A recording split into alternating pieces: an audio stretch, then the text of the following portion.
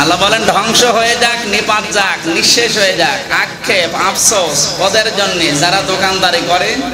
আল্লাদিনা ইদা তালু আলাম নাসি আস্তাফুন নেওয়ার সময় বেশি নাই আর দেওয়ার সময় কম দেয়। এই আজ শুনে অন্তত আমরা যারা দোকানদারি করি না, আমাদের কোনো চিন্তা নেই, নাকি? এই আয়াত পর্যন্ত কি আমি যে বললাম, বুঝেছেন এ পর্যন্ত? মুশরিকদের ব্যাপারে যখন বললাম আওয়াইলুল্লিল মুশরিকিন যে মুশরিকরা ধ্বংস হয়ে যাক, এ বরদোয়া দিচ্ছে কে? আমরা খুশি না বেজার? খুশি, আমরা তো আর মুশরিক না। যখন আল্লাহ বললেন ওয়াইলুল্লিল মুতাফফিফিন যারা ওজনে কম বেশি করে, তারা ধ্বংস হয়ে যাক। আমরাও খুশি না বেজার? কিন্তু শব্দটা খেয়াল করেন আল্লাদিনা ইদা তালু আলান নাসি আস্তাফুন ওয়া ইদা কালুহুম আব্বা জানুহুম ইউখসিরুন। ওরা নেওয়ার সময় ঠিক মতো নেয়, কিন্তু দেওয়ার সময় ঠিক মতো দেয় না। এই নেওয়া আর দেওয়া শুধু দাড়ি পাল্লা না। যারা দোকানদার, যারা ব্যবসায়ী, এটা শুধু তাদের ক্ষেত্রে না, এটা প্রত্যেকটি মানুষের জীবনে মিলানো যায়। বিশেষ করে যারা শিক্ষক, শিক্ষকতা করে, এরা কিন্তু নেওয়ার সময় সারা জীবন অনেক কিছু নিয়েছে। কি? ওয়ান থেকে মাস্টার্স পর্যন্ত লেখাপড়া করে এরপরে চাকরি নিয়েছে।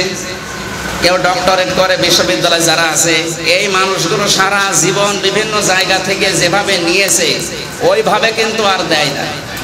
ক্লাসে পড়াতে গেলে ওইভাবে আর ডেলিভারি দেয় না। তখন বলে প্রাইভেট পড়া লাগবে অথবা কোচিং করা লাগবে? তাহলে ওয়াইলুল্লিল মুতাফফিফিনের ভেতরে এরা নেই।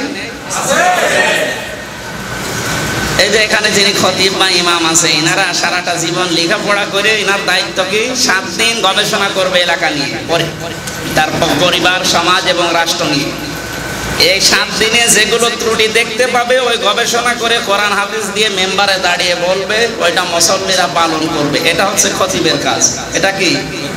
উনি কিন্তু সাত দিন একাধারে ওইগুলো পায়, দেখে, কিন্তু ডেলিভারি দেওয়ার সময় দিতে পারে তাহলে উনিও ওয়াইলুল্লিল মুতাফফিফিনের ভেতরে নেই।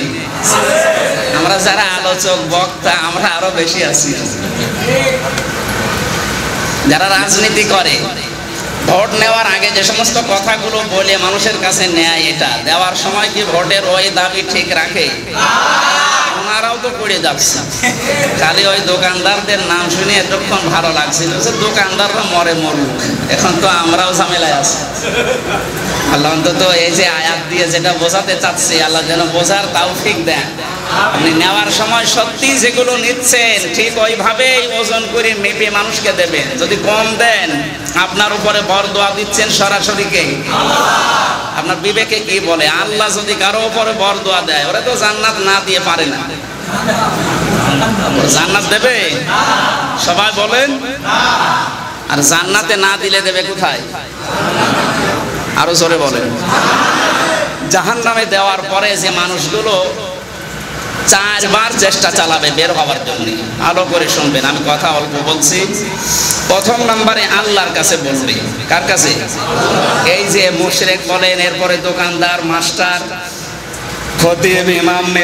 বলেন, যারা রাজনীতি করছে, সব ধরনের লোকের ভেতরে আছে। এই মানুষগুলো প্রথমে বলবে, রব্বানা আখরি জেনা মিনহা আমি প্রথম রাকাতে আয়াতগুলো পড়েছিলাম।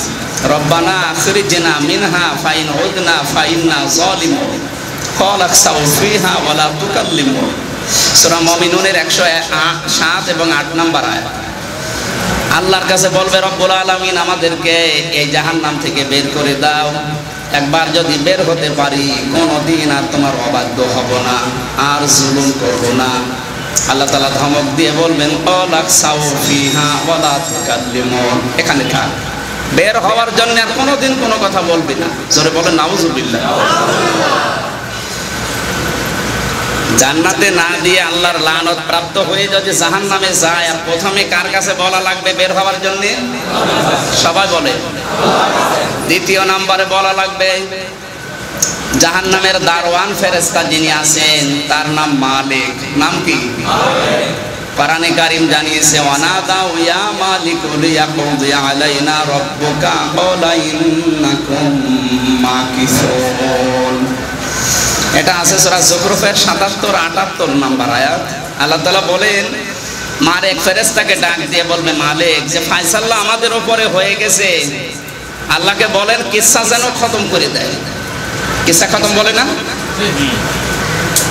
মানে আমাদের যা সহ্য করার মতো না, যা করার একবারে সিদ্ধান্ত নিয়ে ফেলেন সঙ্গে সঙ্গে মালিক বলবে, কলা, ইন্নাকুম মা কিছু না। বলার মতো আর কোনো মুখ আমার নেই, চিরকালে জাহান নামে থাকা লাগবে। তিন নম্বরে ওরা নিরাশ হয়ে তখন চেষ্টা চালাবে, দেখি যারা রক্ষী আছে। আরও জাহান্নাম পাহারা দেওয়ার জন্য যারা রক্ষী আছে, তাদের কাছে এবার ধারণা দেবে অকল আল্লাযীনা ফিন নারি লি খাজানাতি জাহান্নামা দুউ রাব্বাকুম ইউখাফফিফ আন্না ইয়াওমান মিনাল আযাব। এত শাস্তি আল্লাহ জাহান্নামে মানুষকে দেবে, শেষ পর্যন্ত রক্ষীদেরকে বলবে, এটা সূরা মুমিনে উনপঞ্চাশ নাম্বার আয়াতে আছে। ডাক দিয়ে বলবে, জাহান্নামের রক্ষীরা। আল্লাহর কাছে একটু বলেন যে আযাব। তারা যেন অন্তত আমাদের আল্লাহ একটা দিনের আজাব যেন কম করে দেয়। সারা জীবন আমরা জাহান্নাম থেকে বের হওয়ার কথা বলছি না, অন্তত একটা দিন যেন আজাব আমাদের না দেয়। আপনি টের পাচ্ছেন যে, কি আজাব দিলে শুধু একদিনও বাঁচার জন্য একটু চেষ্টা চালাবে? অবশ্যই আজ করতে পেরেছেন। সর্বশেষ চার নাম্বারে ওরা বলবে, যখন ওদের কাছে ও পাত্তা পাবে না, এবার জান্নাতে যারা আছে তাদের কাছে ধর্ণা দিয়ে বলবে, অনাদা আসহাবুন নার আসহাবাত জান্নাতি আনাফিদু আলাইনা মিনাল মা, ক্বালু ইন্নাল্লাহা হাররামাহুমা আলাল কাফিরিন। ওরা বলবে, তোমরা জাহান, জান্নাতে যারা আছো, ওই যেগুলো ফেলে দাও, খাবারের উচ্ছিষ্ট অন্তত ওইগুলো আমাদেরকে কিছু দাও। জান্নাত থেকে তখন আওয়াজ দেওয়া হবে না, কলু ইন্নাল্লাহা কাফিরিন। জান্নাতের খাবার যারা জাহান্নামী মানুষ, তাদের জন্য আল্লাহ হারাম করে দিয়েছে। সম্মানিত ভাইরা, এই আয়াতগুলো শোনার পরে আমার যতটুকু মনে হচ্ছে, এটা সোরা আরাফের পঞ্চাশ নম্বর আয়াতে আছে। এই আয়াতের সাথে রিলেটেড একটা আয়াত যারা পড়াশোনা করেন, সোরা আনামের সাতাশ নম্বর আয়াতটা ব্যাখ্যা সহ দেখবেন। আপনি এখান থেকে কোনো তথ্য পাবেন ইনশাআল্লাহ।